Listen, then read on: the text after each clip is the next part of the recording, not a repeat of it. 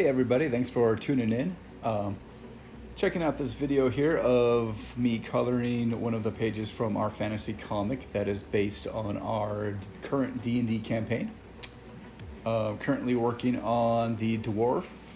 His name is Ding and that is Matt Case's character.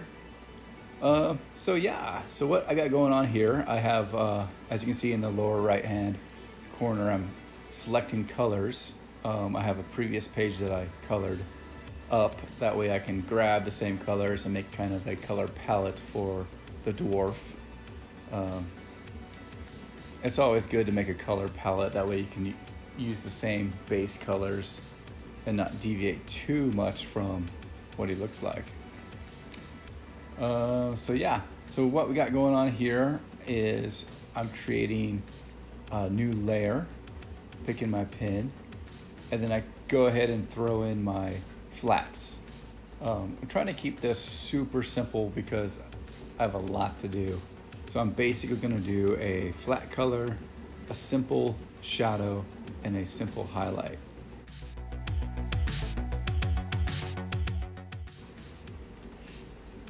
So as you can see on the uh, other arm, I'm coloring around, kind of making a circle of the area that I want to fill in and I'll grab the paintbrush and just drop that in there.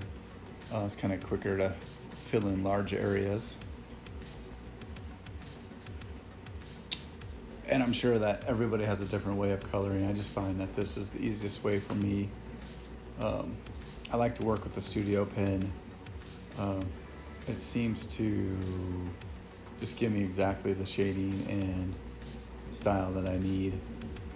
Um, then I come in and just add some uh, simple shadows. There's my shadow, throw it on the other arm.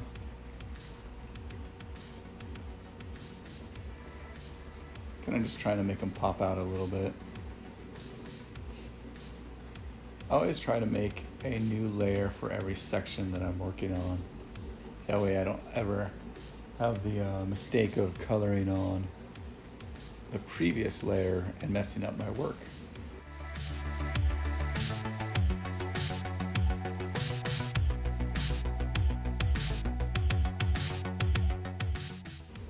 Could have um, made the blacks darker, but I figured they're gonna they're gonna get darker when I throw the color on top of them.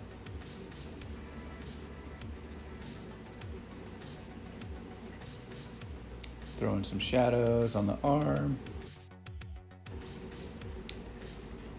So here I'm just uh, zooming in and doing more of his armor, uh, back and forth to my color palette, making sure I'm matching up what the dwarf's colors are. Again, keeping it super simple. I find that with this style I'm trying to do um, with the fantasy comic, I don't want to do a lot of airbrushing and blending. It's going to have hard lines where you can see pretty much three simple colors on each section.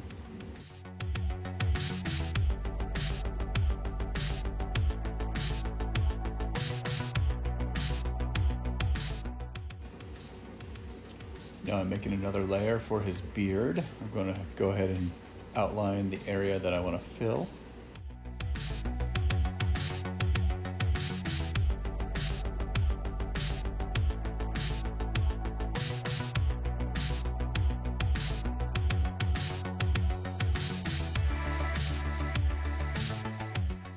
Might as well hit those eyebrows since we have the same color of the hair.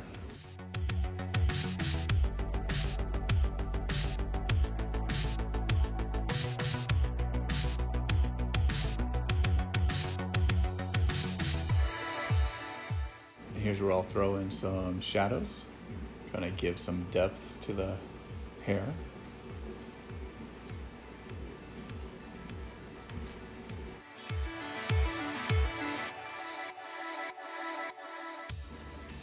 You got to remember also that uh, it's okay to deviate from the color palette you pick for your characters depending on what lighting they're in. Like if they're in a dark tavern, you know, I'm making all the colors more muted.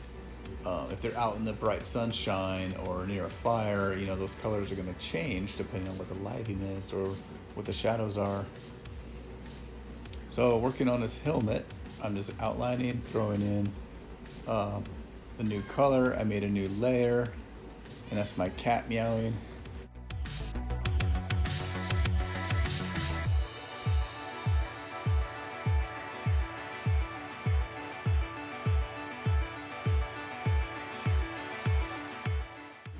Throwing in some shadows.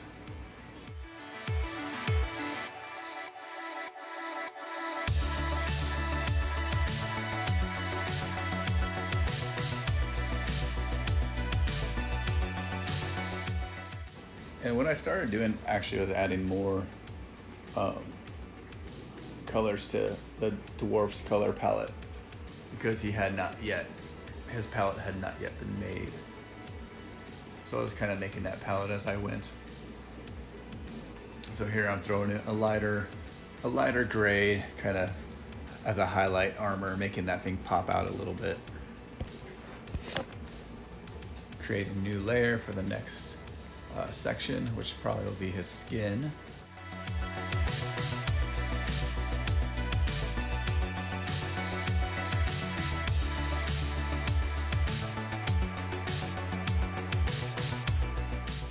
I like Procreate. Um, it's got some awesome features. I am very curious to start learning Clip Studio. Um, so I might be diving into that soon. I'm trying to pull out the full functions of Clip Studio and see what I can do. So then when I'm done coloring all the layers for a certain character, I like to merge all the layers together. Um, and then just move on to a new layer. So this next character, I'm starting on layer six, as you can see there. Um, he is our half elf, and his name is Mouser, played by uh, Dave. And um, this guy's got some cool colors. Now, all these characters were originally designed by uh, Matt Case. Um, this is just my style on his original designs. Um, super fun to see other people's imagination of what our characters look like. Uh, so here I'm just coloring in his cape, uh, I should say his cloak. Um, throwing it over, again, keeping super simple colors, just a, a base color, a shadow, and a highlight. Uh, I really think with this style, that's really all I need. I don't need to get crazy with effects or shadows with airbrushing and whatnot.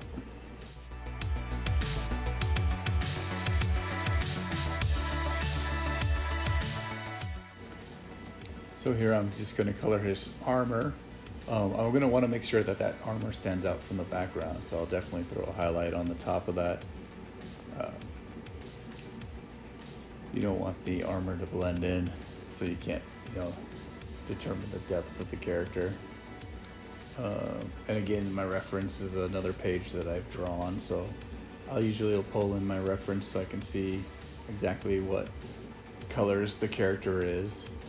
Um, since I don't have, these are all brand new characters, I don't really have them memorized yet. So he's got some kind of gauntlet on his left arm.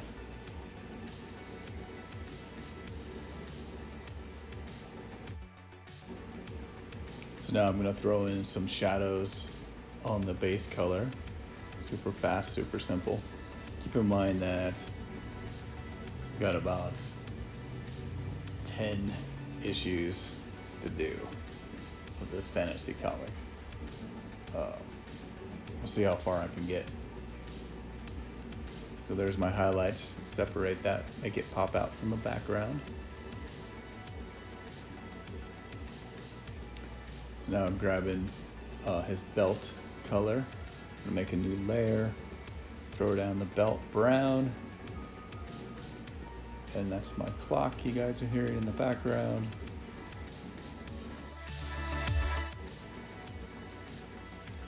So let me know what you guys think.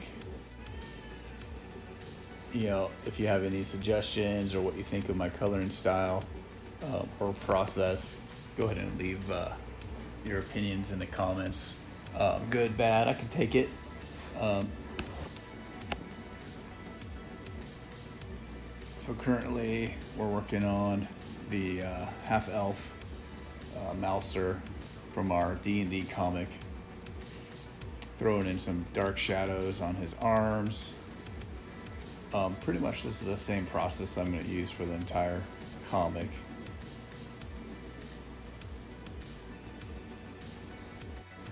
So from here on out, I'm gonna just throw on some music and let you guys just enjoy watching uh, the rest of the coloring process. And uh, just want to thank you for tuning in. And again, any uh, feedback or uh, thoughts are always appreciated. Thank you.